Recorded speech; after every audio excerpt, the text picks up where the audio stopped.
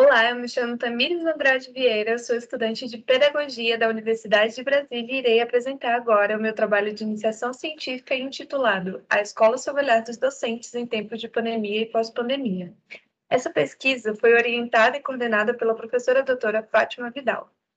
Bom, para iniciarmos, é importante fazermos uma breve contextualização.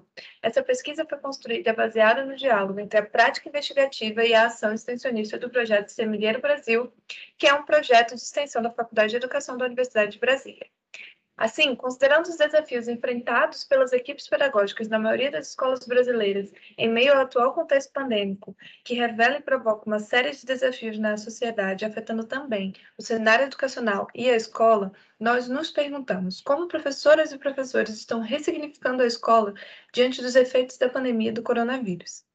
É importante ressaltar que nossas perguntas organizadoras surgem junto e a partir das demandas e anseios dos educadores, acompanhados pelo projeto de extensão e pelas autoras dessa pesquisa. Nosso caminho de pesquisa se constrói, portanto, com essas pessoas, e assim, partindo da premissa freiriana que o início do conhecimento é a pergunta, são justamente as perguntas que surgem do território que nos movem nessa investigação. Como objetivo geral, buscamos compreender como professores e professores do ensino fundamental anos iniciais estão ressignificando a escola nesse momento de pandemia e pós-pandemia do coronavírus, à luz da perspectiva decolonial. Nos nossos objetivos específicos, nos propomos a investigar como autores e docentes pensam uma educação inclusiva, equitativa, plural e de qualidade para todas e todos na pandemia. Nós procuramos também compreender como trabalhadores da educação desenvolveram novas ferramentas e possibilidades de ensino dentro das condições de trabalho apresentadas no contexto do isolamento social com a implementação do ensino remoto emergencial e ensino híbrido e visamos também analisar as mudanças possíveis nessa nova realidade educacional que se apresenta em tempos de pandemia e que está se constituindo e se apresentará em tempos pós-pandêmicos, pensando em proposições para uma outra educação. No nosso trabalho metodológico, nós seguimos uma abordagem qualitativa com a realização inicial de uma revisão de literatura para entender como as escolas e a educação estão sendo pensadas em tempos de pandemia. Esse processo foi problematizado por dois movimentos empíricos como sujeitos da pesquisa. O primeiro movimento foi a construção, junto à ação extensionista do Semilheiro Brasil, de um processo de formação docente em encontros virtuais com um grupo de educadores de uma escola pública, inovadora e periférica de Brasília, a Escola Clássica Comunidade de Aprendizagem do Paranoá, conhecida como CAP. O segundo movimento foi a realização do procedimento metodológico de entrevistas narrativas feitas virtualmente com um grupo de 10 professoras e professores da educação básica nos iniciais do Distrito Federal.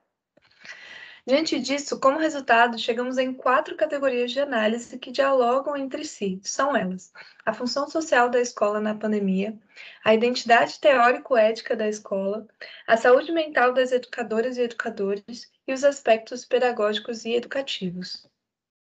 A partir dessas quatro categorias, podemos afirmar que as equipes docentes estão ressignificando a escola pensando na revisão de sua função social, em que a escola precisou assumir como prioridade o cuidado e a preocupação com a vida da comunidade escolar e com o seu território.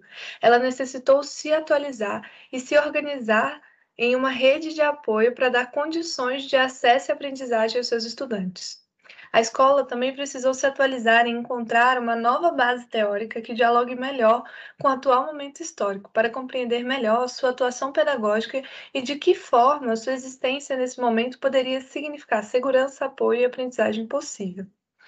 Ela passou a tomar o cuidado com a equipe docente como um ato essencial e uma nova configuração do espaço e tempo se estabelece aqui, na qual o trabalho em educação encontra força e potência no acolhimento e no fazer coletivo e colaborativo, respeitando os tempos e processos individuais e compartilhando experiências entre a equipe. É importante atentar-se aqui à nova onda de colonialismo através da tecnologia que atua no trabalho excessivo do ensino à distância e na transposição unilateral. Além disso, foram feitas várias adaptações dos aspectos pedagógicos e educativos de acordo com as reais necessidades e demandas atuais das crianças. Busca-se aqui uma educação contextualizada e um esperançar no fazer educacional, que ressurge entre e nas fissuras da nossa dura realidade, trazendo possibilidades. Muito obrigada pela atenção até aqui. Nós agradecemos a todas as pessoas e colaboradores que contribuíram com a construção dessa pesquisa.